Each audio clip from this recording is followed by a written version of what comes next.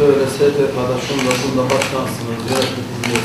Hata Valisi Mehmet Celalettin Lekesiz yerel basının toplumsal değerlerimizi de dikkate alarak ilim farklılıklarının bir zenginlik olduğu gerçeğinin altını hemen her vesileyle çizerek, değerini bilerek toplumun da bu konuda bilinçlenmesine ciddi katkılar sunduğunu söyledi. Bir sorumluluk duygusu içerisinde tarafsız ve özgür bir basının varlığı da hiç şüphesiz bir taraftan demokratik kültürün gelişmesi, bir taraftan birlik beraberlik duygusunun güçlenmesi, bir taraftan özelde ilimizde genelde Anadolu'da, Anadolu coğrafyasındaki renkliliğin, güzelliğin farkına vararak toplumun bu konuda bilinçlenmesi ve birbirine saygı duyması gibi toplumsal değerleri de göz önüne alarak e, bunların geleceğe aktarılması fevkalade önemli. Hatay Gazeteciler Cemiyeti Başkanı Ahmet Yetişen ve yeni yönetim kurulu üyelerini makamında kabul eden Hata Valisi Mehmet Celalettin Lekesiz, yerel basının bulunduğu ilin sorunlarının gündeme gelmesinde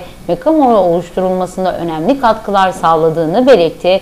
Kentin huzuru için tüm toplumsal dinamiklere önemli görevler düştüğünün de altını çizdi. Hiç şüphesiz geleceğimizin bugünümüzden güçlü olabilmesi, çocuklarımıza daha mutlu ve müreffeh bir Türkiye'nin emanet edilebilmesi için değerli arkadaşlar tüm kurum ve kuruluşlara görevler düşüyor. Vali Lekesiz konuşmasında ayrıca basın mensupları için eski bir Antakya evini tahsis edeceklerin müjdesini de verirken bu hafta sonu resmi çalışmalara başlayacaklarını dile getirdi. Antakya Evi ile ilgili çalışmalar da Sayın Başkanımız yakından takip ediyor.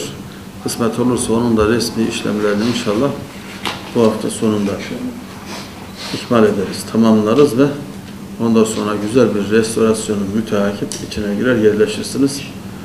Ee, biz de gelir çayımızı orada içer, sohbete orada devam ederiz inşallah. Kabulünden dolayı Vali Lekesiz'e teşekkür eden Hatay Gazeteciler Cemiyeti Başkanı Ahmet Yetişen de son günlerde basın mensuplarının kamu binalarına giriş ve çıkışlarının yasaklandığını hatırlatarak bu konunun bir an önce çözüme kavuşmasını istediklerini kaydetti. Son günlerde bazı yerlere yasaklama da geldi.